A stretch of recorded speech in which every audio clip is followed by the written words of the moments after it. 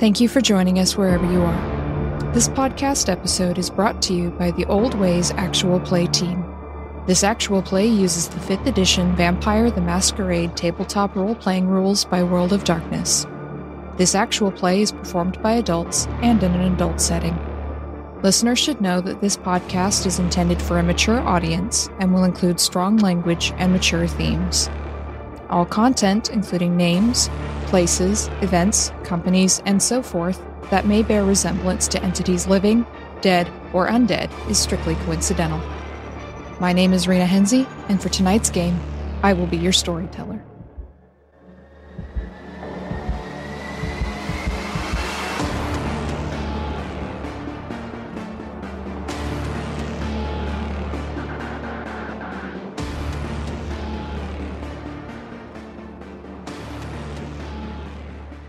Good evening, everyone, and welcome to another episode of the Old Ways podcast, Vampire the Masquerade Chronicles, Shards of San Francisco. I am your storyteller, Storyteller Rena, and tonight we all have a party to go to. But before that, I'd like to thank all of our listeners and all of our Patreon backers for all of your support. We quite literally could not do this without you. If you would like to join our Patreon and support us there, you can do so at patreon.com slash the old ways podcast. And now we need to get to a party. So let's have some introductions. To my right. Hi, this is Mike. I am played Marcus Voss from Clan Brujah, and we finally had a goddamn union meeting. You did. A very surprising one. See how that turns out for you. And next to Mike. Hi, this is John. I'm playing Sylvester Lovewillette. I am your local Clan Gangrel representative. And I have to have a shower and go to a party, but I sleep underground in a park. So this is a change of pace. It'll be fine. You'll do great. Yeah. I'll use conditioner and everything. Wow. Fancy. And next to John, we have. Hi, this is Tegan, and I'm playing Rom the Shaman of Clan Marxism. Oh, shit. I mean, Malkavian. Wonderful. Uh, sees the brains of production. And at the end of the table. Hi, this is Ali, and I play Katerina Bogdanovich of Clan Toreador, and I have someone to break. Yes, you have a nice new vending machine installed in your office. And next to Allie, we have. Hello, hello. My name is Bridget, and I am playing Monika West of Clan Salubri. She has no idea what she's doing with her life right now. Do any of us really? Who knows? And normally I would say last but not least, but again, not tonight. So instead, I'll say next to Bridget, we have. This is Tiffany, and I play Alex Giovanni of Clan Hecata. Wonderful. And last, but never least, we once again have a delightful guest star with us. Hello, my name is Patrick McNamara of Dog Food Studios, your best friend and the only person who truly understands you. Uh, and I will be playing Rodger Pendlay Funt of Clan Malkavian. He's having a wonderful time. He is indeed, after stirring up a lot of controversy at Elysium. So we are now embarking upon a new night in San Francisco after all the controversy at Elysium the night before, but also some agreements that were reached with a, well, an interesting election to come. So before we get into the events of tonight, why don't we have a rouse check from everyone as you wake up? Sir Rodger is fine. I have an eight. Sylvester has a seven. Nine. Well, you did have a very tasty snack the night before, Katerina, so that makes sense. Yeah, Monika failed big time. Okay, so Monika, maybe it's because of all the excitement of the night before, but also Annalise did take a double helping of your vitae, so you didn't really have time to eat, and you're stressed and anxious, and yeah, it makes sense that you wake up hungry tonight. And Rom the shaman is also a bit peckish. Again, it makes sense. Alex is also a bit hungry tonight. There's a lot of change in the air. And, you know, you still haven't been able to talk to Mina with everything going on, and Luther's been absent a lot, and it's, it's just been a bit of chaos. And we know that Alex Giovanni does not like chaos. So, three of our vampires have woken up a bit peckish this evening. In the case of Rom, more than a bit peckish. But uh, Well, even with last night being as exciting as it was, Monika, it's still party night.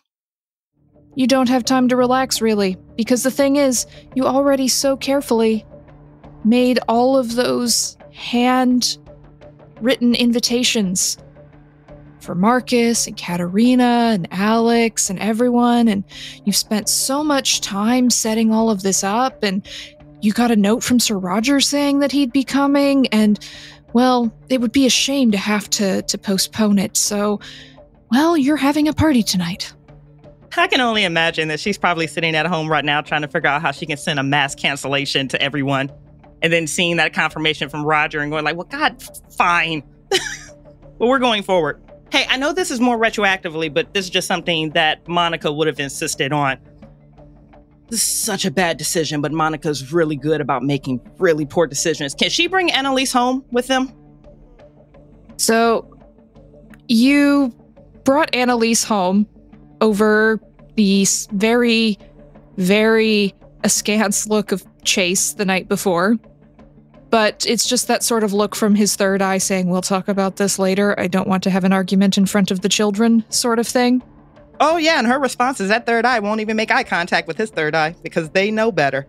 So, yeah, this is going to be let's bring this child home. This is such a bad decision. And then we're going to follow that up with she had a set schedule for everything that needed to happen today. She needed to be here by this time. She needed to help the ghoul set up by this time. Launch time was, but all of that is getting bumped back by like three hours because now she actually has to go out and buy a dress for this little brat too. So there's that that's going to happen as soon as she wakes up. Yeah, it's it's a bit complicated. Annalise just kind of curled up in a dark corner in the library, which is also Chase's office, and went to sleep clutching her doll. She was perhaps a bit overfed last night. She is still a child. Her brain is still eight years old, which you, you haven't really met vampire children before. It's rather taboo in most kindred society. So it's hard to reconcile, perhaps, the vampire is 400 years old, but she's still mentally a child thing. But she curls up and goes to sleep and falls asleep almost immediately. And then when she wakes up, since you have her, I'm going to give her a rouse check too. She's fine. After her double helping last night, she just looks around and goes, Where am I? This isn't home. Nope, it's sure not. We need to go shopping. Come on, let's go. Shopping? I never get to go shopping. Mom says I scare people. Oh God, Rena, you are breaking my heart with this kid. This is the worst decision ever. You're placating this character. I hate you. I'm the worst, I know. Mom's mom used to say I have an aura of unsettlingness, so she wouldn't let me go out. Well, at least your mom was transparent. Come on, let's go. And she'll follow you out, looking around, yawning a bit. Chase comes out of your bedroom and looks down at the kid, looks back at you, gives you this, Are you sure? Really? kind of look. And she is going to respond. And tomorrow, no, I already know it's a bad decision, but that's a it's a poor decision that we can unpack later. I'm gonna go get her something to wear. I'll see you at the venue. All right, if if you insist. We do have updated numbers. I'm going to check in on the ghouls, make sure everyone's set up for the evening. And he furrows his brow, and all three eyes look at Annalise, and she just sort of smiles winningly at him, like a kid who knows that they've done something wrong, but are trying to cute their way out of it. And Monika hates to admit it. It is really cute. She's going to spin her on her shoulders and push her out the door. You go out, the, the cats are out eating, and you can take Annalise out shopping. Yeah, I mean, this is in and out. Listen, find a cute cocktail dress for an eight year old and let's rock out. Yeah, you, you find something pretty quickly, although Annalise just keeps stopping to look at things. You get the feeling she wasn't let out of the house much when her mother was alive. But I am going to make a roll for something. Don't eat the sales associate. Oh, you see a five year old holding his mom's hand, and he turns and he looks at Annalise, and he looks at his mom, and he looks back at Annalise, and he bursts into tears and starts crying. Monika is going to take note of that. She doesn't understand it, but that's something it looks like she's going to need to learn very, very quickly. Okay. Okay. So you find uh, an eight year old appropriate dress for Annalise. It's got a lot of frills and ruffles, which she, seems she seems very excited by. But she is also looking out at the street as you as you drive away from the store and she just says in this voice that is older than her voice has been before just says it all feels wrong it's just been me and mom for 400 years what do i do now I think it all feels wrong because it is all wrong. And I don't even know how to begin to fix it. But we can't go backwards. We have to go forwards, right? She's going to throw her right hand, you know, over the center dash at her. She takes your hand she looks at the wrist Don't. That. Don't. Don't. sorry those big puppy eyes again Monika rolls her eyes and keeps driving. Right, so as Monika is helping Annalise get ready for the party and Chase is making sure everything is set up, what are Marcus and Katerina up to? I've had quite a night. I'll probably find a better place maybe for the head when I uh, get home. I'll have to think up some place to put it.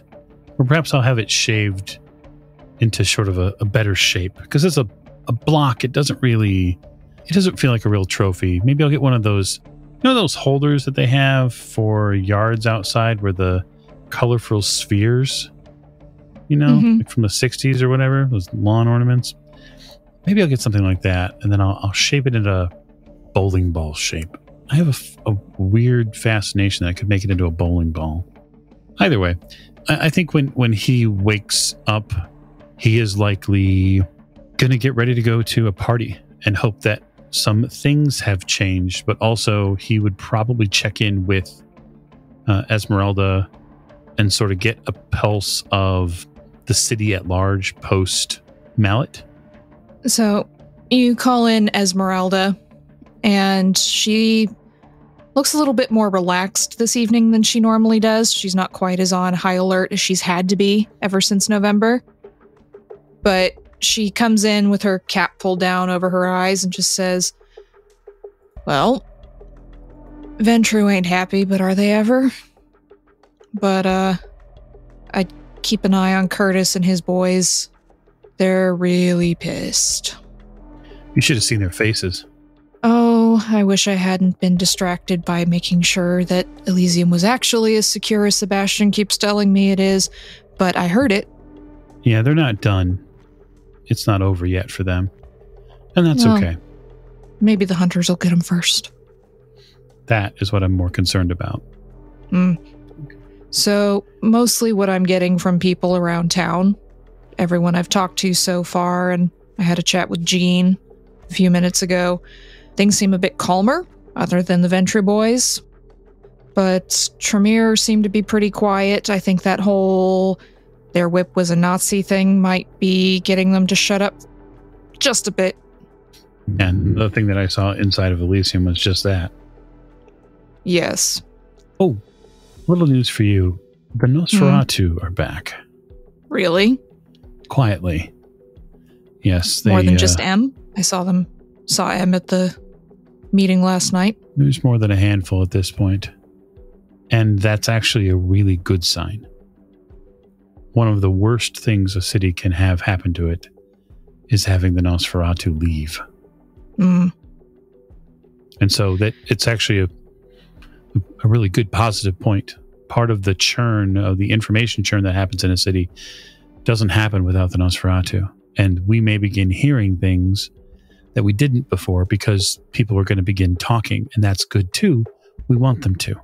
Okay, that's good to know. I thought might have been just M coming back. Good to know they brought their friends. I can talk to M. Okay, great. Uh, there is a um, a soiree this evening. I'm aware. You were invited, weren't you? Mm-hmm. You'll be attending. Okay. I kind of broke her nose last time. Yeah, I, I get the feeling that Monika loves you, though. If vampires could blush, Esmeralda would be blushing, more from confusion than anything else. I don't understand that one. I really don't. Listen, love is blind. We all know that. When when you say love is blind, Esmeralda's eyes just get really big and really confused, and she just sort of stammers out up to, uh, "Gotta go, gotta do things." There may be dancing. You may want to stretch the glutes and the hamstrings and whatnot just to get ready, get loose. I snicker. Uh, I'm going to put on something fantastic, and I'm going to try for once in the past several months to have a good time. I suggest you do the same. you just hear Esmeralda mutter "Madre de Dios" as she turns around and flees, literally flees out the door. Ah, I tell you, it's this effect I have on people. I turn around. and Jean's there waiting. Jean's in a fancier looking jacket and jeans this evening. She says, Um, I know we're trying not to do a lot of business tonight, but the shaman's here.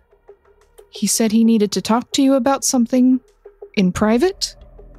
In private, yes, but um, yes, that'll be fine. Do you want me to stick around? I'm sure by private he just meant away from kindred at large. You presume to understand what Rom means? Fascinating. Well, we have to try, don't we? I'm certain that there are many, many shadows in any room in the house. Oh, yes. This one in particular. Very full of shadows. There you go. Private. And you go into your meeting room off to the, the side where you meet with people away from the main gathering area. And there is Rom. Ram, Captain, how are you? Oh, I'm doing fantastic. And how are you, uh, Count Councilman? I've, you know what? That's a fantastic segue because, and as you can see, I, I have uh, uh, my notebook uh, here. Um, I did want to talk to you about scheduling a couple of different discussions about how uh, process and procedure would work um, within the uh, the union area. You know, we have a lot of terms we need to define, such as what are we going to call the area? What are we going to call the, the group? What kind of positions we might need um, in order to support this? Uh, what the process might be for conducting a blood hunt or, say, uh, requesting uh, uh, the, the, the ability to produce, um, you, you know, your own uh, vampire yourself and, and, and sire. Uh, all of these things are very important questions that we should, um, at some point, take a meeting to lay out. Hmm. All right. That seems fair. We'd probably want the other council people. I don't know what we want to call ourselves at this point. We do want to kind of stay away from feudal terms, I'd say. It is really nice to see people finally catch up to um, at least 1917, um, at the very least, uh, socially in in this cadre. Um, but yeah, uh, you know, I just you're just curious. What would uh, your opinion be? Because inquiring minds have been asking, um, what uh, if there was to be a process for something such as uh, creating uh, more vampires? Because you know we've had actually a drop in in the population of, of vampires in San Francisco, and and there has been concern I've heard in the network about the ratio of kindred to kind, anyways. And I was just I'm I'm just pinging you because there were some people who wanted some input on that process, and so Ram, you um, want a baby? Shit. Um. Uh, I do. I do. I need. Uh, I, I I'm looking for some help and some assistance with some tasks that I I have been conducting, and I will once there is a proper process that has been outlined, be petitioning for that said privilege. Yes. Would you like to hear a story? You know what? Yeah, you you're all yeah yeah go go for it. For the better part of five decades, the right of progeny was kept from me by our Mhm, former prince. mm. they chose to keep that right from me when I wanted to make a vampire. And Mm. f- first, they did so saying that it was for my betterment, for my protection, that Mm.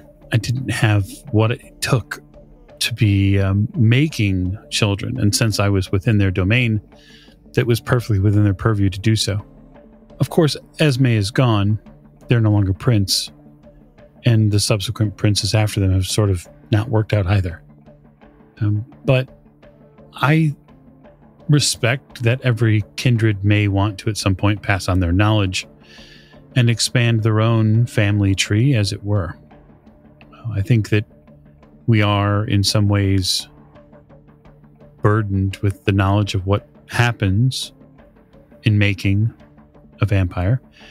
And I would just say that the proper way to do it before any sort of princedom would be to look to your elders and seek guidance. And so it's perhaps auspicious that we've been able to have Sir Rodger around. And as he is someone who is longer lived within Clan Malkavian and was at one point its whip, may still technically be, although I don't know if that's the case. Perhaps if you're coming to the party tonight, I know that Sir Rodger is invited. Perhaps the two of you could talk about it there, and then he can give me his insight. I, I don't have any particular desire to even be the person you would have to ask for permission. But that said, it, I'm thankful that you came to me because one thing that will trip off the hunting crowd quicker than anything is a bunch of new vampires running around causing trouble. Absolutely. I completely agree with everything you said. And I wanted you to know that you have my, if, if not my empathy, my sympathy for the situation that you were in in the past. I'm going to take your advice. Um, and I want you to know that I appreciate that you have noticed that I am attempting to go through proper channels in this process. So thank you for your time. And as always, you have my cell phone number. You don't use Discord. You know, you, we might be useful to set up a Slack for the council. Uh, just you know what? I'll I'll I'll, I'll set up some options for you all. Um, my goal is just to be, you know, a bit of a knowledge manager for you know, for the three of you and make sure that you, you can all obtain the resources that you need. You have a fantastic day, and I will see you at the party later. Thanks. zip out of that, out of that space. Gotta, uh, gotta, gotta not be in that room now. Yeah. Rom leaves and the Brujah the, at the at the door, you still gotta have security at the door around here, lets him out and Jean melts out of the wall and just says, Well, that was interesting. And uh, upstairs, Katerina, do you have any thing you're doing? I don't know. Is she awake? You can make her awake. Did she say conscious after she drank from me? She did, and she you could see her fighting to stay awake for a while, and you had to go to bed before the sun came up. She is unconscious when you wake up. Okay. So I'm to go have a snack. Do I need the snack? No. Am I to have the snack? Yes. I'm to let her wake up with unfiltered uh, pain. I'm not to worry about sugarcoating it for her. I'm a vampire. So I will let her wake up naturally to uh, fangs in her neck. while she's still chained to my chair. She wakes up as she feels your fangs touch her throat, and she tries to pull back almost instinctively, and she can't because she's chained to a chair. And she's, let let me go. What is wrong with you people? I did nothing to you. Oh, but you did. You endangered everything and everyone that I love and hold dear. Did my job. Yes, and now your job has landed you here. And I will relish in your misery. And I'll full on bite her this time.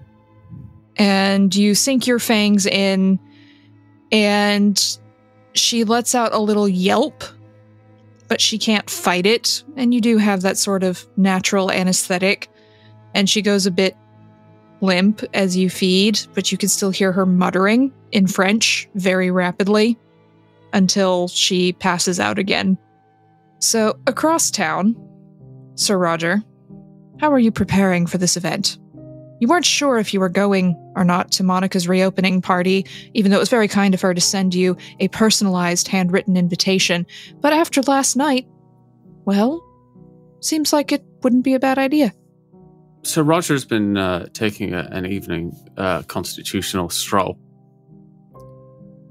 and he's now slightly worried um, because he uh, stopped off at a outside a store called Doctor Need's uh, House of Weed, which he assumed was uh, some kind of nursery where one buys one buys botanicals of all kinds. And he's feeling a little bit peckish, so he uh, he did feed on a on a on a customer coming out of uh, of the store, a man called Graham, and he's starting to feel slightly the worse for wear, and he's starting to worry that he may have inadvertently pre-gamed uh, the party. He's wandering along and he's thinking about this, and he's thinking for the first time in his entire existence how nice it would be to have a packet of Cheetos. Well aware, of course, that he's incapable of eating such a thing. But nonetheless, that, that hunger is upon him, and it, it's a very it's a hunger that comes from a different part of his soul to the the hunger for blood that uh, ignites his very existence. And Sir Rodger isn't even exactly sure what Cheetos are. He just knows that he needs them. Yes, there is certainly a, there there is a hole in his life where uh, a cheat which only a Cheeto could possibly fill. Um, so he's he's making a, a, constitutional stroll on his way to the party, but starting to feel rather the worse for wear. So Sir Rodger is wandering around the streets of San Francisco, headed more or less down towards the docks, trying to find a packet of Cheetos. Not exactly sure what this is, but it is a great quest that he must fulfill. So he goes into a he goes into a, a, a news establishment of some kind, and he says, "Excuse me, um, uh, very much kind sir. Uh, do you have uh, well, do you sell snack foods here?" Yeah, dude. Yeah. What? Well, I mean, what would you recommend um, for someone who may have inadvertently, you understand, possibly ingested a kind of cannabinoid? The young man's eyes just kind of light up. He goes, Oh man, it's your first trip. It's great. You never forget your first trip. Okay, man, I gotcha. I gotcha. And he comes out from behind the cashier's desk and takes you over to the snacks aisle, which is just long, long rows of chips and all sorts of things. He says, Okay, you're going to want flaming hot Cheetos. I know it sounds wrong, but it's really the best thing you can get on a trip, man, because it just it lights you up inside. And he hands you a bag of flaming hot Cheetos. Now you're gonna want the sour cream and onion funyuns. Best ones. Other people say they prefer the ranch, but I tell you, sour cream and onions where it's at.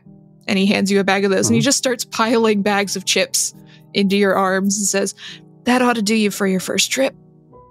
You might want to start keeping things on hand if you're going to make this uh, a regular thing, but I see, I see. Um, now, um, I confess uh, that uh, I have a, a, further ask of you. Uh, I will give you. Um, here's what I would like to happen: is your I would like you to eat all of these snacks, and I will pay you um, two thousand uh, US dollars in cash. It's not. It's not an. It's not a type of intercourse thing. He looks very confused. Have you ever seen two thousand dollars in person? It's quite a rush, and he just gets a, a wad of bills out of his out of his coat. Okay, man. It's it's like a weird way to get your munchies on, but okay. He just Indeed. starts eating all of the chips. Okay, and I I uh, I wait very patiently for him to uh, con- conclude the eating of his chips. And then I, uh, with great grace, and respect for his boundaries um, feed upon him so that I may enjoy the sustenance that he is partaken of. cinematically, we see this young, blonde, probably surfer kind of guy just eating all of these chips, and he's telling you about which ones are his favorites and why these are the best, and uh, what you want to keep on hand when you need need to f- get a fix, and and all of this. And he finishes up the last of the chips. He's licking his fingers, looking a little sick from all the chips he's just ingested, and then we just see Sir Rodger kind of pounce. He th- Rodger thinks he's being very dignified, but Sir Rodger is also high. So he kind of pounces, and we just see almost slow motion as he sinks his fangs into the guy's neck, and the guy goes, Whoa, man, I did it. And then the natural anesthetic in your feeding sets in. He just goes, Oh man, this is a great trip. They're never going to believe me at the YMCA.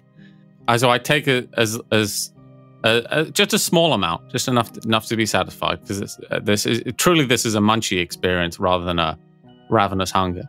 Well, I think I think I'm going to need a willpower roll here, Sir Rodger, because you're high I suspected as to much. see to see uh, how how much of the munchies you have, and if just a bite is going to satisfy you. Um, I got one success. It, one success is enough. It, it's enough to not drain him, Okay. but if you keep it at one success, he's going to be fairly anemic, and it's going to be fairly obvious that something happened to him. Okay, I'm just going to burn a, a, a point of willpower, Okay. reroll some dice. Okay, so I got a crit, so I got four successes.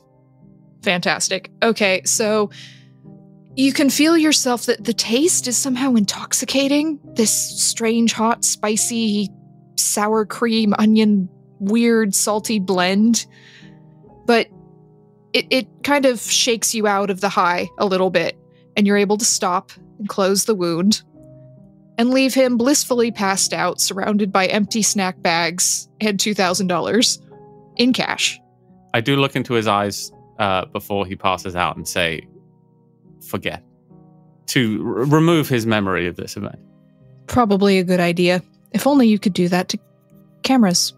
So Sir, Sir Rodger tells the clerk to forget and then goes about uh, making sure the one working camera in the store is no longer the one working camera in the store.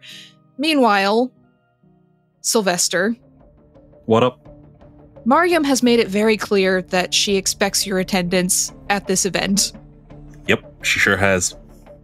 And this Mhm. Olivia person was involved, and it's a big deal for her, and I have no idea who the fuck that is. But I gotta be here for Olivia to support a member of the clan. Again, I have never met Olivia in my life. So, Mariam has also suggested that you might want to clean things up a little bit. And by things, she means you. yeah, yeah, she does. Well, the handy thing about being a weird hobo in San Francisco is you see all sorts of people. It's a real mixing pot of social strata and income levels and prey. And, um, you know, I've got to live my best life and eat, pray, kill. Fortunately, I've, for this occasion, got a gentleman lined up. He works in Silicon Valley. He's a tech bro. But he wears decent clothes. Now, he's about my size. And to be honest, I think there's going to be very little problem with a little bit of larceny and then a home invasion going slightly awry. Oh, no, no nothing can possibly go wrong there. No. In fact, it's kind of routine at this point. So, hmm. It, it's just normal for you. So, so, so Sylvester takes a shower in someone else's shower, wears Mhm. someone else's clothes. They fit pretty well, although they're slightly baggy in some places, but you know, it works for you. And you've done a little digging, quite literally, in some points, getting some information on Olive. That's right, that's what her name was. that's pretty close. Yeah, close enough. I mean, Yeah. same name, more or less, right? And you get some some notes from one of your operative cells that you've started scattering around San Francisco. Olive's a bit of a loner. but she's very good friends with Mariam. But she's more of a loner than Gangrel tends to be. Mm-hmm. Actually, she sounds a bit like how you do things. Yeah, I can respect that. She disappears for long stretches of time and then pops back up again. Some of us just. It speaks to our soul. hmm But no one else really seems to know much about Olive, other than that she has a lot of connections around town. Mhm. And that she seems to know people in multiple municipal planning offices, which has been very helpful for some things, including getting a park expanded instead of more townhomes built around it. There's a bit of admiration from your colleagues when you hear this, but ultimately it boils down to if you really want to know anything about Olive, you either need to ask Olive or you need to try to get Mariam to talk to you about it. Yeah, Mariam won't tell me shit. So yeah, I've broken into a guy's home. It looked like a botched burglary. Yeah, I've put my hair up. It's I'm looking kind of smart. I've exfoliated my skin using whatever it is he has here. I've uh, then bleached the hell out of the drains. Again, this is all standard procedure as far as I'm concerned. I will take some beer from his fridge, and um, I will take some money from his bedside table. Yeah, I'm just gonna take some stuff for the road. So Sylvester has everything set up the way he does it. It'll be fine. Nothing ever comes of these little burglaries. Mm-mm. And he prowls off into the dark, headed to the party.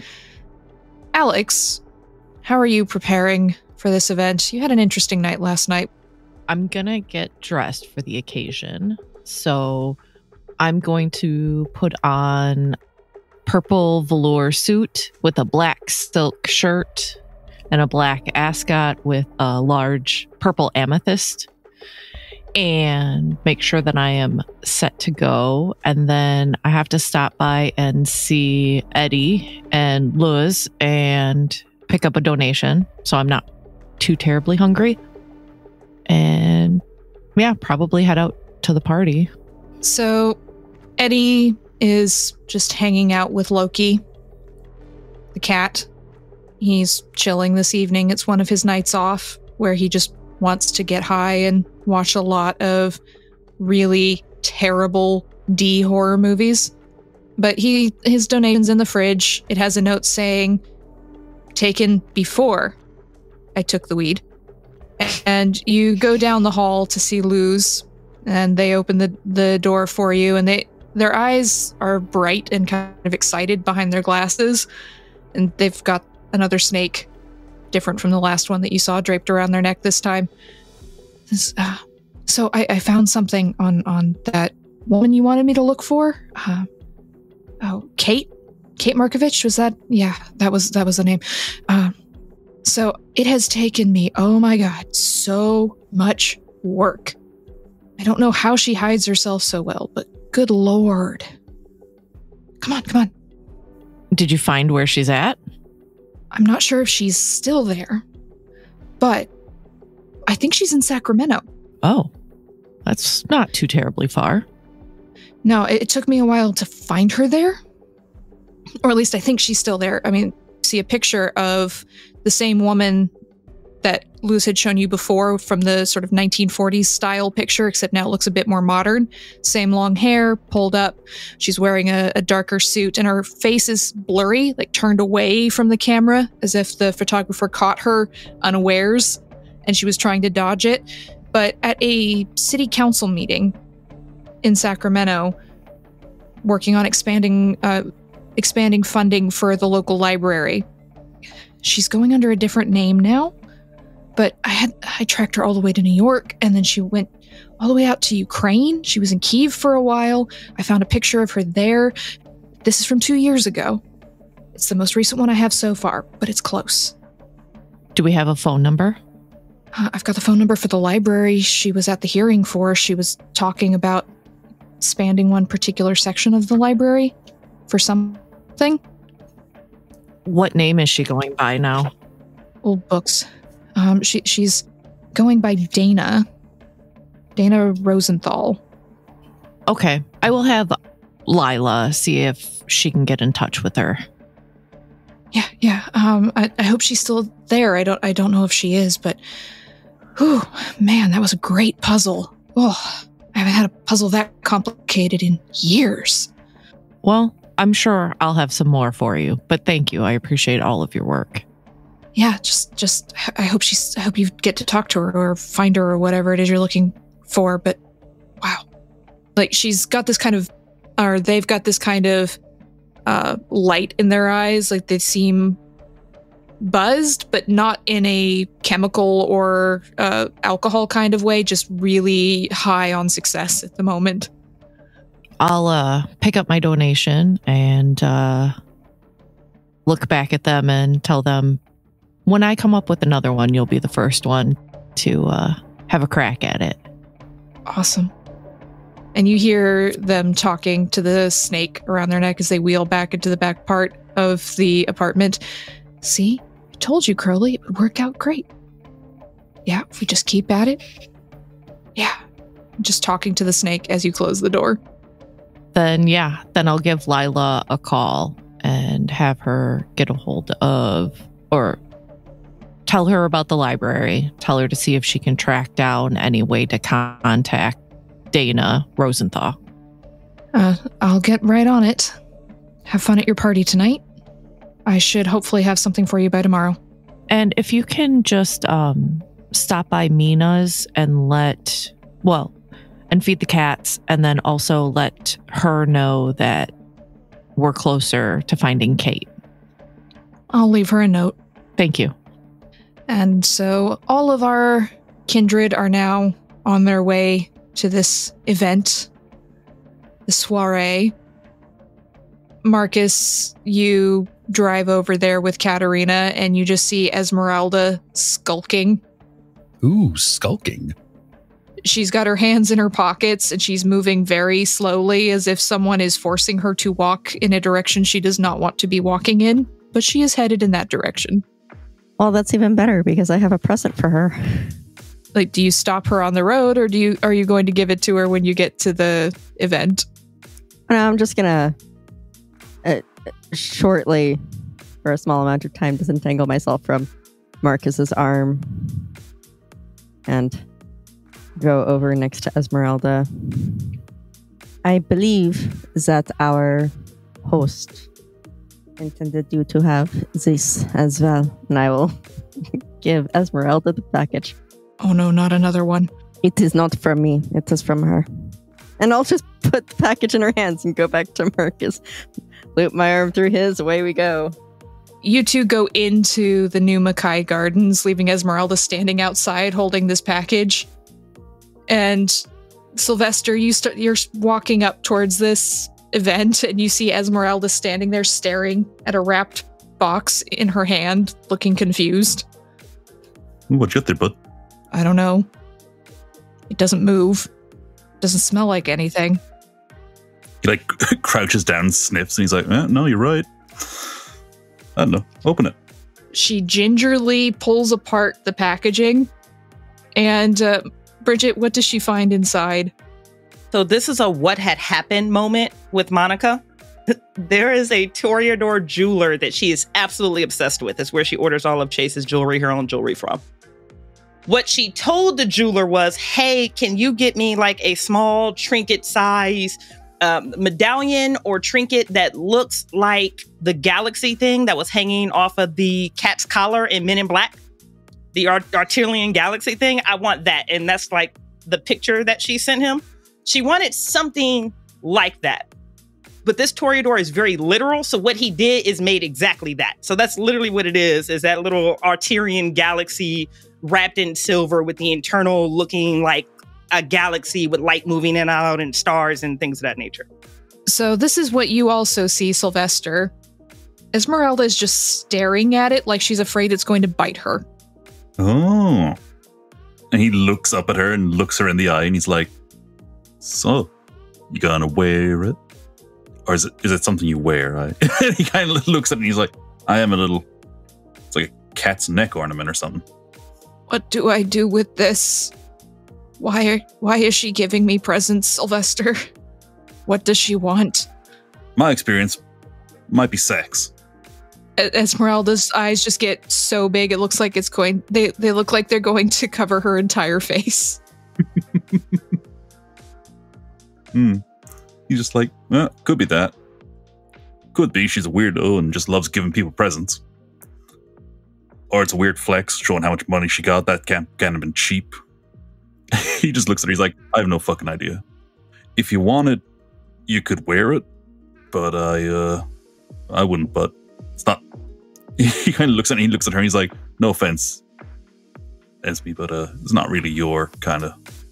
She looks a little bemused and you and you see her looking in the windows where you can see Monika just sort of moving around talking to people and she looks back at it and she's like Sylvester how do I people Wait, why am I asking you? well, what does that mean? As always, my main experience is to ignore what they think. Fuck them. You can beat the shit out of them. And um, if th- something goes really, really bad, you can fuck off into the woods for 10 years and come back and everything's probably fine. I did that. I came back to all of this mess. Hmm.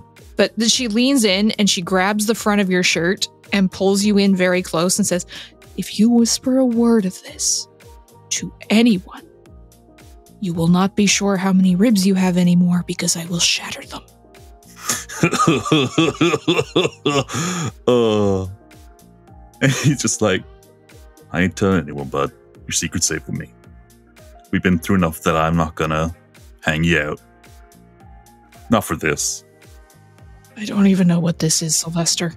Is it a bracelet or is it a necklace? Is it like a cat's collar? I, I don't. I don't know. I'm afraid to ask. Is it a keychain? I don't have keys. Awkwardly puts it in her pocket and Sylvester puts a hand in his pocket. He's like, "Oh wait, no, yes I do. Whoops. These. Uh, oh, whoops." He just puts them back. and He's like, "I'll get rid of those later." you two head into the party. Esmeralda doing her very best to reassemble her composure on her face. It's not going super well. You can tell she's hmm. very baffled and confused. As her like best friend, I am going to do my best to get her centered. And I'm just going to be like, "Look, you're you're not you're not you're not doing the thing. You gotta center on something." So, food.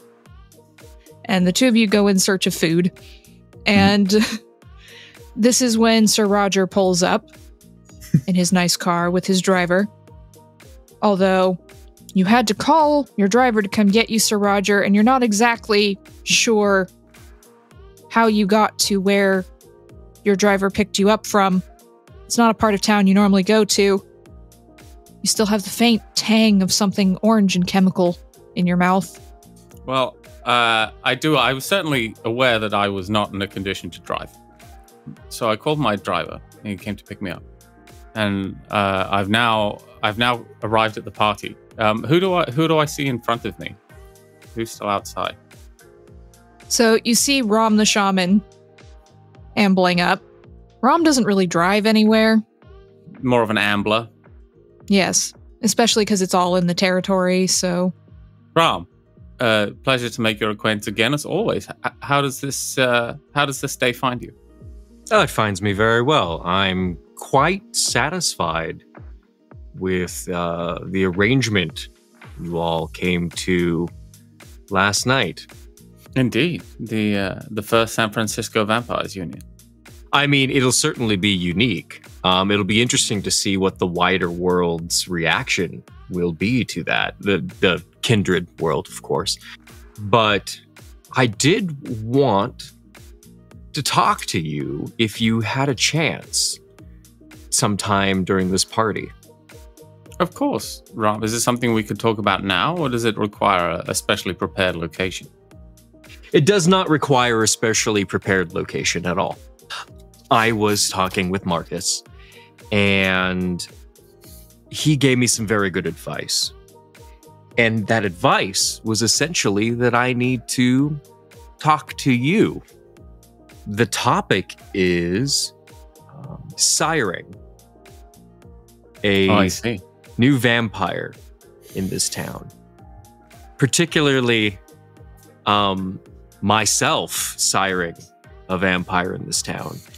And as someone who is older in the blood and in this particular clan, um, I wanted to see if you would support my uh, petition within this council, within this group, and within this territory um, to do so. I have a, a number of very responsible and resourceful ghouls that I think would make excellent candidates. Uh, one of them. And I'm not just doing this out of some vain desire, but I I intend to have a purpose uh, for this individual. There's, of course, a lot of work to be done, and we have lost so many of our kindred in this city in recent years. And so, my initial conversation with you would just be to skim the top of your mind for your thoughts on the subject. Well, Ram, it is not impossible that I would support uh, any claim you would make to uh, procreate. I wouldn't say it's necessarily likely. I would perhaps need to hear more. And in- indeed, we haven't yet decided upon what the rules are and how such a thing will be determined. Now, we certainly, I would suspect that the union, uh, it's safe to say, would not want people to be uh, siring children, children willy nilly. Of course, of course. I would hear your case, Ram, if it even comes to that. If I'm either a figure, even a figure of relevance in this discussion, then we would hear of it. I would question the wisdom, perhaps, of taking a devoted attendant and transforming them through the power of the blood into a rival. May I ask why? Uh, because they might eventually try and kill you, Rob. That's what rivals do. You would be creating for yourself a very close personal relationship with someone who is suddenly struggling, with extreme anger management issues and potential resentment at you're stealing them from the glorious light of day.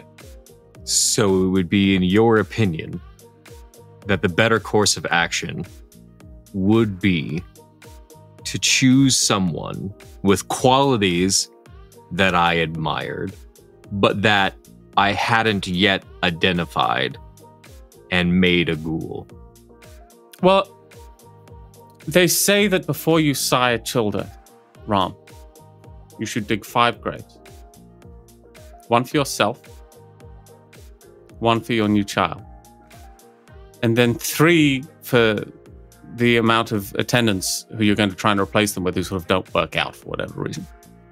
It's a it's a question of uh, chipping away at your logistical foundations, right?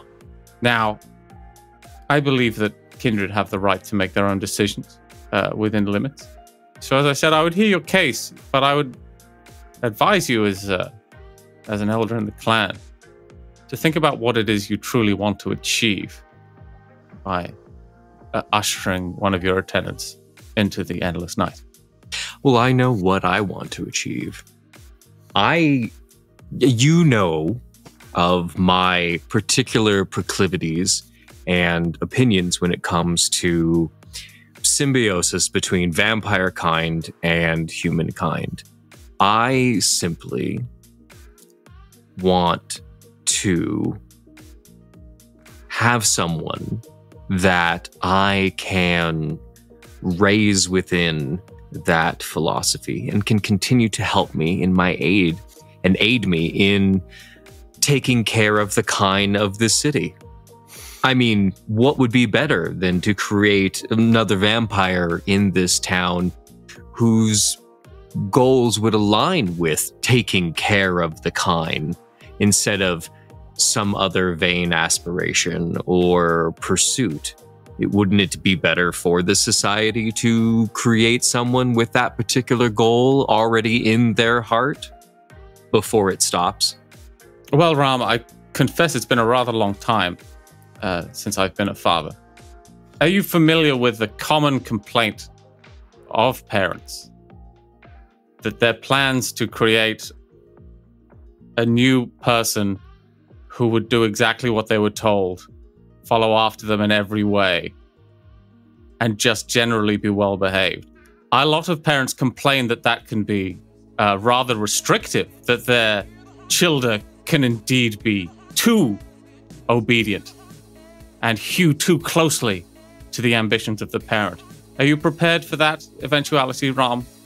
I am with compassion and listening and radical honesty. If it doesn't work out, it doesn't work out.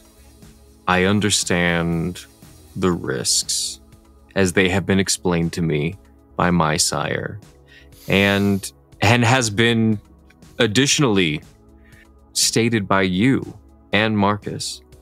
But I've I have a good feeling about this. I've done a lot of work maintaining a sizable base of ghouls. I'm fairly decent middle manager. I feel like I could guide a new kindred member of the society to a useful and good place. Well, I confess, Ron, that I was deploying a kind of advanced irony, and that rather more of a problem for parenthood is that they don't do anything you, you fucking tell them, Ron. They want to do the opposite of what you tell them. They want to make you unhappy. That is that is how children thrive. They thrive by draining the souls of their parents. I just I'm not saying you shouldn't be a parent, Rob. That's not my decision to make, but think carefully about it because there has been in every part of this case you have made, there have been serious holes in your uh, perhaps expectations. The other question that I would bring to mind is what will all of your other ghouls think when one of them is raised above the rest? Food for thought, Ron. But we will see what the arrangements are before the council. Or if indeed there is a council, such a thing has not yet been decided. But we'll find out what the arrangements are. Certainly, I'm not telling you. No, Ram, I don't believe that that's my place. But I.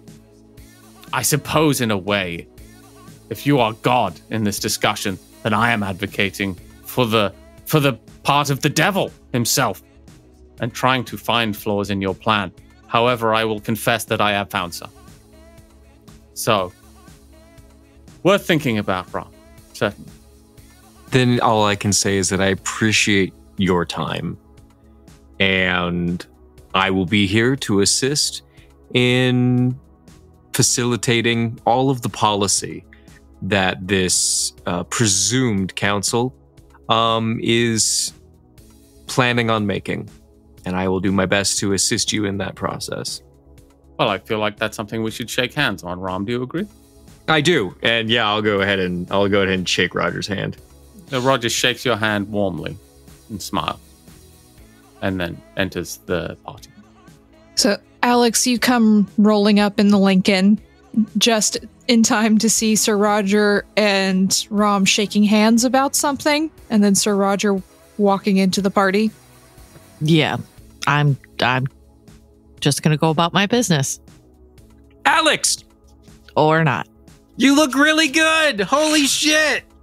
I know, and thank you. All right. Hey, do you want to um you seen Jane? I saw her last night. Well, yeah, I know I was there. Like we were in the same chair. We were in the same booth. They call I'm I'm the Malkavian. Why can't you not remember things?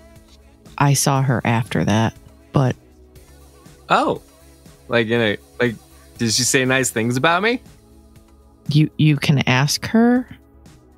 Is there something going on? Like I don't want to get in the middle of that. That's that's not my thing. Nah, there's like there's not a middle. There's there's no middle. It's good. We're all good. I'm good. How are you? You don't seem good, but that's okay. Yeah, I'm I'm hungry. It's okay. I assumed that there will be things to eat at the party, so I didn't really do anything about it before I showed up. Oh yeah, I almost forgot. Yeah, she's got flavors. Like legit like flavors. We're talking about the party. Yeah. Okay. Fantastic. I didn't know if we were still talking about Jane. All right. Fantastic. She has flavors. I wouldn't know. Anyways, let's go into the party. so, with that awkward conversation, you go inside. M- Monika, you've been moving around with Annalise, sometimes in tow, looking at everyone and creeping a lot of people out. Sometimes she's just sitting in a chair in the corner, again, creeping people out, but there's not really anything you can do about that. I mean, she's creeping me out too. Let's be super honest about it. It's true. So, everyone you've invited has come in now. You see Jane sitting off in a corner with her double jointed legs propped up on a stool. And she's got a wry sort of smile on her face as she's just watching everyone. But everyone has arrived on your guest list. So why don't you describe this scene for us, this this party that you've prepared for the kindred? Yeah, thank God for Olive from Clan Gangrel for being able to get all of this organized. But basically, what she did was took over an abandoned Chinese buffet. So you have the long hallway that you come in where you were normally would be like checked in, but all of that's been knocked down. And there's just this massive, massive, massive open space that's half living botanical garden where you can walk in and out of rows and just disappear or get time alone or have private conversations. Um, there's also a small boutique store that's on the inside where you can buy, you know, seeds and, you know, different things to help with startup gardens. She does have a string quartet playing right now. Um, the floor listen, contractors move as quickly as contractors can move. It's not perfect. It'll be something that she'll have completely redone sometime next week, but it's at least enough where there's a um, separate dance floor where people can dance if they want to. But the one thing that she did uh, as soon as she ran in the door um, with this poor child in tow was like get her and chasing this child into a room and rapidly get dressed because this pushed her behind her schedule and she wasn't ready. But just before they went into her office to get dressed, she would have asked one of her ghouls to change all of the ambient mood lighting to purple. Originally, it was lime green. That's all those like LED lights that spring from the floor behind plants that like throw colors on the wall. As soon as she came, it's like purple. I need everything changed to purple. Purple now, please. Thank you. Sorry. Uh, and getting dressed. Now that the hysteria is over, she's dressed. The child is dressed. She's mostly awkwardly making rounds, saying hello to people, greeting people, being really humbled and impressed with the turnout. She is wearing a black satin romper uh, that has like the high collar that almost looks like a choker, and her back is completely out. Uh, that's being complemented with black pumps. She has her hair pulled back into a ponytail because, again, she didn't really have a whole lot of time to get dressed. But it's probably the most dressed up anybody this table has ever seen her because she's usually in some form of like jeans or sweatpants. And ghouls are walking around with menu cards. They all have different colored wristbands that are associated with a menu card you would have received upon entry that tells you which ghoul is flavored as to which flavor. It's quite an interesting party atmosphere. It's definitely different from Rom's party. Yeah, no orgies at this party. No no orgies yet at this party. Oh, the night is young. it is. the night is very young. And uh, Katerina, as you come in with Marcus, a young human comes up to you discreetly and just tugs on your sleeve and says, uh, "Excuse me, uh, Miss Bogdanovich." Yes. Uh, Monika asked me to to give you this in case you need to escape somewhere at some point during the night if, if you get overwhelmed or something. And they hand you a small key. It's, for the office down down the hallway that way. Uh, third door on your left. If you just need to decompress for a bit. Understood. Where is our hostess? Oh, she's over there. And he, uh, they point off to a corner where you can see Monika talking to a group of the ghouls who are putting on their armbands. And where is Chase? Uh, Chase? Oh, Chase had to go check on something from the music. Oh, there he is. He's coming out of his office right now. And you see Chase coming out of one of the doors down the hallway in a very neat dark gray suit. And he's wearing a, a white shirt with a teal tie that he's adjusting. as he comes out into the main room. Perfect. I'm going to squeeze Marcus's arm and just like abandon him to go talk to Chase. Bye bye. I'm going to um, go hunting. It is a party. I'm Sure, there are people here that can um, fit the bill. Yep, you find a couple of the more athletic looking ghouls. They've got a red wristband with a silver key on it, and that, according to your menu, indicates that they are of the more athletic type for those who prefer to have a little run before their meals. I'll uh, I'll seek you know seek out those with that same armband if it's just this one or if there are more. Take a look, see what's see what's around. Also, of course, we'll want to as well look for the host. And you you find a couple of these ghouls wearing these armbands. There's three of them scattered throughout the room. Esmeralda's already got her eye on one of them. She seems to be stalking him, but he seems to be aware, but pretending that he doesn't know that she's stalking him. Esmeralda also seemed a little bit on edge now, which she wasn't earlier. But you see Monika coming out of the, the corner where she was talking to her ghouls. She's making polite conversation, talking to people. And Chase is now having a conversation with Katerina. Cool. So Marcus is going off hunting with one of the ghouls, who apparently is on the track and field team at his university. So it's going to be a fun, fun hunt for Marcus, I think. Absolutely. What are the rest of you doing as you as you come in? Sylvester Esmeralda's started stalking one of the I'm here for the hunt ghouls, according to the menu. Hmm, yeah. Play hunting isn't something Sylvester can enjoy. He knows that it's set up. It's not the same. He's tried. There've been parties before. It just doesn't work. He's like, okay, leave those off. What the hell else is on this menu? Why would you have flavors of blood? It's weird. Real weird.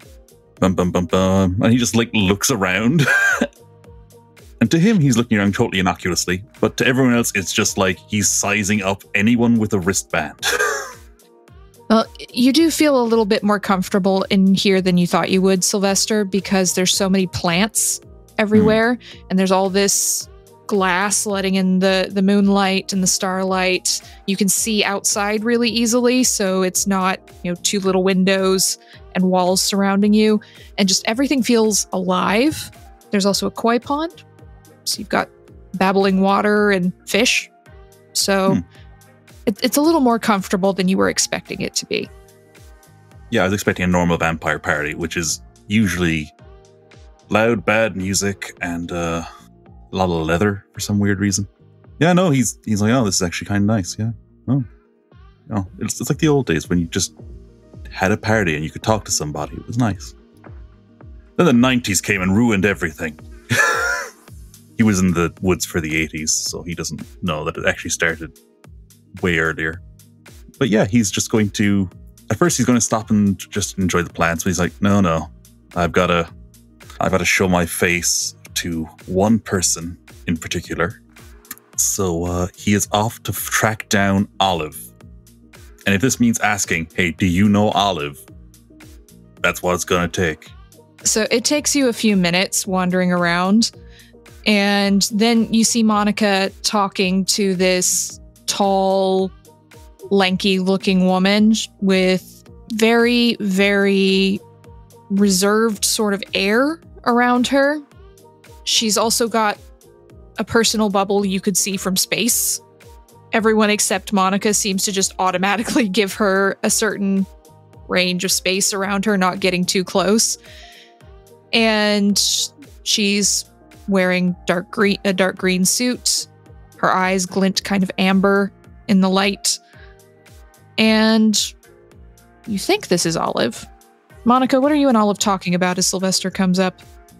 Probably next round of contract work that needs to come in. She probably shouldn't be working, but she is just going things that she's noticing is like, okay, so that wall that we put up, it's not that it didn't do a good job, but we should probably move. It's one of those things when she sees Sylvester come up and she smiles. Hi, I wasn't expecting to see you here. Thank you for coming.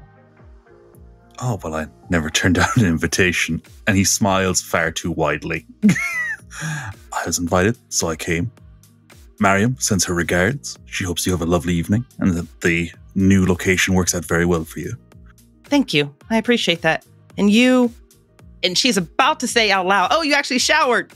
She's on that trap, on that path, and she kind of dials herself back. You look, you look charming this evening? Thank you. I, uh, I made a bit of an effort. I figured you deserve it. Hey, I appreciate the effort. Just for the record, if you ever come back, um, you can come as you are.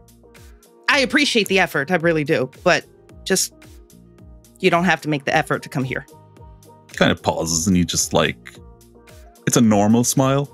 It's it's not the ah, predator smile. It's just just a smile, which doesn't usually happen. He's like, all right, well, that's good. Yeah, I want to talk to you about some stuff later on, if you don't mind. Uh, look, I don't want to ruin your night, but it is stuff that I think you probably want to know about. Uh, you know what I mean? But it's not a big deal, but I would rather we talk about it than not. Okay. Not super high priority, but for right now, enjoy your night. And he turns to the woman in green and he's like, I presume from the color of your clothes, you're olive. That's very perceptive of you. And Monika will spin out of that conversation. I appreciate you giving me the clue. Mariam sends her utmost regards. Uh, I don't have any particular message for you, just that she hopes you're keeping well, and that uh, I am here as her envoy if you have any messages for her. That's what the pigeons are for. See, that's that's what I keep telling her, but apparently needs someone on the ground. Or in it. We all sleep where we're most comfortable. Yes.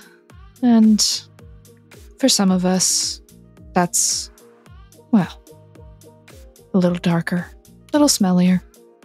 That's fine. he's just like looking up at her as she talks to him, and he's just like, hmm. She's very tall. Yeah, and I'm not very tall either, so that it's doubly neck craning. Mm-hmm. Just like, well, look, I, uh, you're a very hard person to find anything out about, but if there's anything I can do for you in the city, give me a shout. You know what I mean, bud? Why don't you give me a charisma and insight roll here? I would love to. Would you? I actually have charisma three, but I only have insight one, so we'll see how mm-hmm. we go. Mm-hmm. Okay, two successes. Okay, with two successes, there's a little tingle in your brain. Not the kind you get when you're around Malkavians too long, but just a feeling.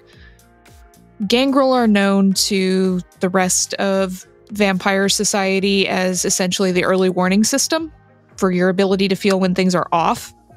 Mm-hmm. Something's slightly off with Olive. You're not sure what, but you feel something just, it's like a puzzle piece that isn't completely fitting in. There's just a little centimeter of space there. He's just looking at her and he's like, and it's very obvious to her that he is sizing her up and figuring things about her, that he's just filling in gaps as he looks at her. And he's just like, you know, you and I are kind of unique ish, not special, but, you know, uncommon. Most of the clan is more pack animalish, and you and I seem to be fairly solitary. You know what I mean? Some predators prefer to hunt alone. Hmm. It's true. That's all. Very true. And you you would know, wouldn't you? Being what you are. You know what it's like. The jungle cat. On the prowl. I know about you, Sylvester. I know so many things. You might be an enigma to most. She gestures casually around the room. But I know you. Just keep that in mind. Enjoy your party. Yeah, all the act is dropped. He's just like, I hope you have a great time, uh, Olive.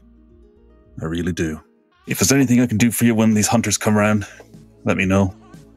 Uh, hunters little humans thinking they can out hunt us. What a delight. The only downside of dying for, uh, you know, at least half the day is that they have us at a disadvantage in one regard. So, let's not get too egotistical. I would remind you that there's a reason we hide in the shadows and we have the masquerade, Olive. It's, uh, it protects us. Do you see any masquerade breaches around here? I don't. I see a lot of vampires in one place. I see a lot of weirdos in one place. If I was a hunter, I'd absolutely firebomb the shit out of this glass house. And he's just gonna walk away from her. You hear her laughing across the room. While that's going on, Katerina, you were having a conversation with Chase. Approach a little more cautiously given the intensity of the last conversation that happened. Chase looks up as he adjusts his tie. Ah, Miss uh, Bogdanovich, thank you for coming. Yes, would it be possible for me to get you and Monika for a sidebar at some point tonight? I'm sure that can be arranged. It does not have to be immediate. I just wish to apologize properly in person. Third eye sort of looks you up and down like it's calculating something. Very well. I'm sure it'll be appreciated. Perhaps towards the end of the night. Anytime. I will be here until the two of you are ready. And I will walk away because I don't want to impose on him because he is also the host. So I know that he has duties to perform and everything of that nature as well. You can feel him watching you just for a moment as you walk away, like all three eyes. And then he turns away and goes back to glad handing and speaking to people. So, Monika, you see Alex come in and they are looking immaculate, as usual. She will peel herself away from whatever conversation she's having with anyone to go and approach one something that absolutely immaculate. It's almost like she's being called by a dog whistle. You drift over to Alex.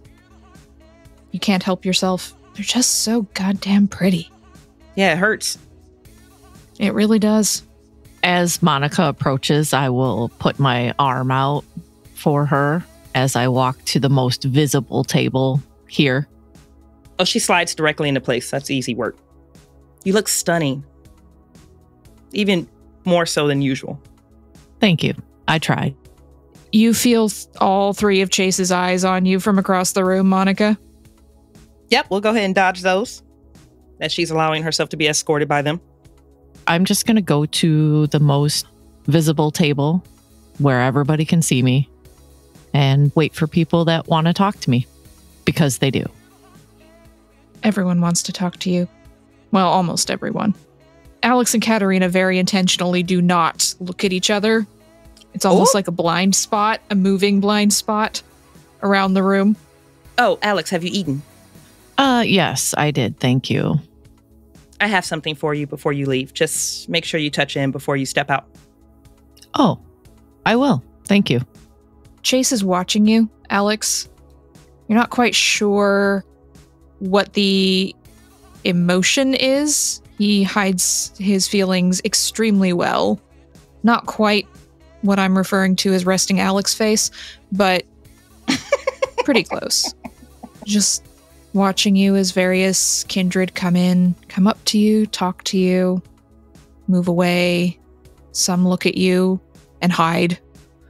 He's always just watching you throughout this party. Every time you turn around, you can feel that third eye watching you from somewhere in the room. And Rom, you're wandering around the party, maybe having some good drinks, and you feel a little tug on your sleeve. Oh, I do? Okay. Yeah, what's causing this tug on my sleeve? There is a small blonde child staring up at you. Oh shit. Hey, you're um hey, how's it going? You That is a very nice dress. Thank you. She does a little spin. You're welcome. How are you enjoying the party? It's a very nice party. You're a That's good. Malkavian. I am. You are observant. Yes. Also, it's the sailor pants. Ah, yes. Well, these are my favorite pants. Is there anything I can do to make your night better? I want to talk to Sir Rodger, but I don't think he wants to talk to me. That's. He didn't like my mom. Hmm. Would you like me to attempt to make an introduction? Yes, please. Okay. Why don't you wait right here and I will be right back? Your brain is like spaghetti.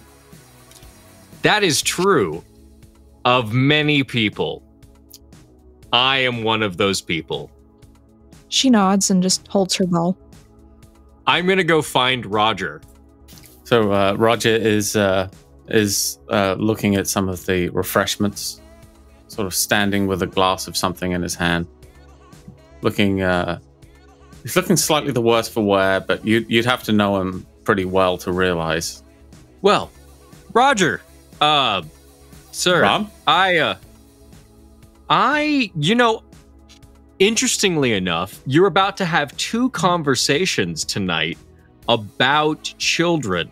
This one has nothing to do with me, but I appear to be a messenger here. Um, I wanted to let you know um, that the uh, uh, fortunately late Miss uh, Van Van Ness's Childer is at this party and is desiring of speaking with you. Now, they also seem to understand that you might not want to speak with them. So all I have done is made the conversation possible by coming and talking to you. If you don't desire to speak to them, um, I could uh, find a way of handling that situation gently. But I wanted to place that choice in your hands. Mom, did you ask uh, the spooky child why they wanted to talk to me? I did not. That uh, is very much something that my answer would be predicated upon. Well, I mean, if I go back now and I'm like, hey, the answer's maybe, but what do you want to talk about? Then they might not wait on me and just come over here. Do you would you like me to to to ask that question? I could actually phrase it in the fact that you are Maybe. about to move to another location or something. Make the introduction, Rob. Okay, fantastic. I am here to be helpful. All right, I'm gonna lead Rodger over to uh, the, the the the the the tiny the tiny evil child. Evil's a big assumption. I, I- well, I'm not gonna say tiny evil child. That is in my head. Annalise looks up at you, Sir Rodger. She looks more composed than she did last night when you saw her feeding on Monika's wrist. And she Mhm. says, I wanted to talk to you last night, but I was hungry. Sorry. Well, we've all been there.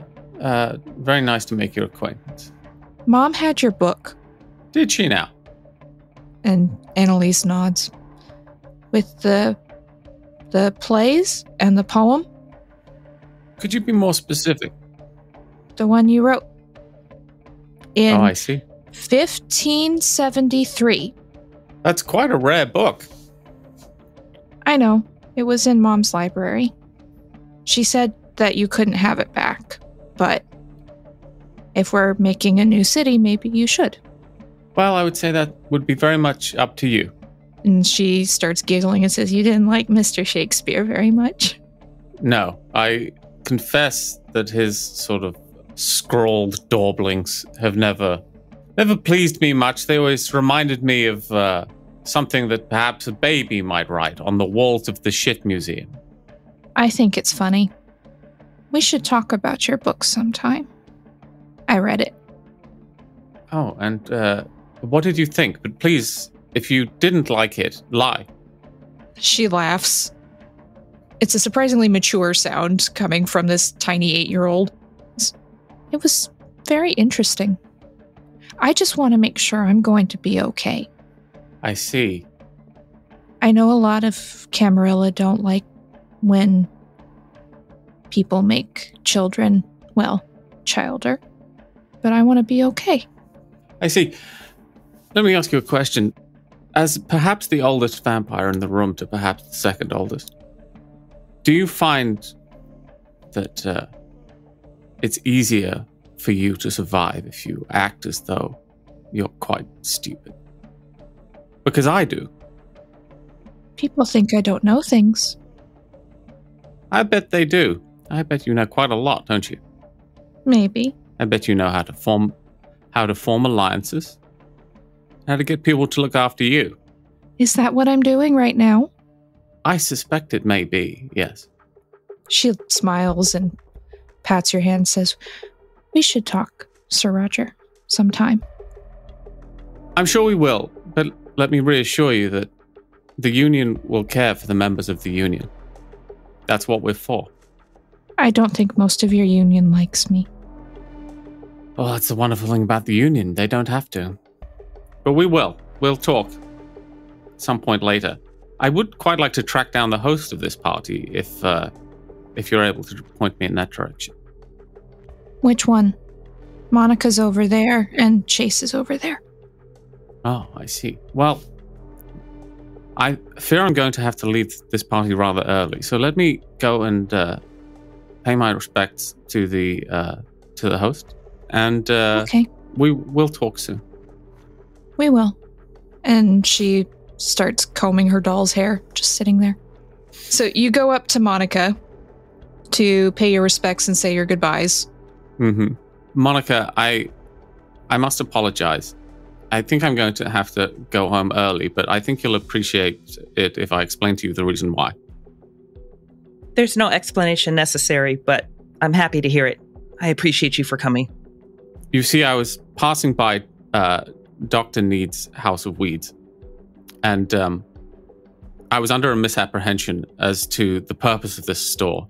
Um, it's uh, became apparent that it was a dispenser of cannabinoids, and I've uh, I'm rather afraid that I, I fed on someone shortly after they came out of the shop, and uh, this has caused my pregame to go into overtime. But I, I do want you to know that I did bring a gift. I, I received it from a, a man at a convenience store. It's really rather good. And he brings out a sort of yellow packet. He says, So it's a, it's a type of onion um, made of fun. I've, I've discovered that uh, should you give this to a, a, a mortal before you feed on them, you can indeed, to some degree, ingest into your very body the fun nature of these onions. And I I found it to be tremendous, and I've always thought that it's better to give the gift of an experience than an object. And I I do hope you agree, and that I won't seem terribly rude for showing up for such a short time and presenting you with a bag of funyuns. No, you've you've attended when I didn't think you'd be able to make it, and for that much I appreciate it. And you're leaving a lesson behind. Apparently, I need to elevate my gift giving to include experiences and not just objects. Well, uh, I'm glad I could be of some kind of service. And I, I hope I'll be able to talk to you very soon. You make your goodbyes, Sir Rodger, and you start to turn to leave. It's started to rain outside. There's a bit of a thunderstorm rolling in, and the rain is hitting the windows. It, it plays very nicely with this live string quartet that Monika has set up. But as you turn towards the door, the door crashes open. and Mariam is standing there, soaking wet. Her face looks grim. And she marches through the room. There's no other way to really describe it, just water dripping everywhere, the door opening and closing in the wind. And she looks at you, Marcus, and she just says, Fuzzy's dead. And that is where we will leave tonight's episode. Thank you all for joining us at this very interesting party. Thank you again, Patrick, for giving us some fun and funyuns tonight. It was my very great pleasure. We will see you all next time. Thank you and good night.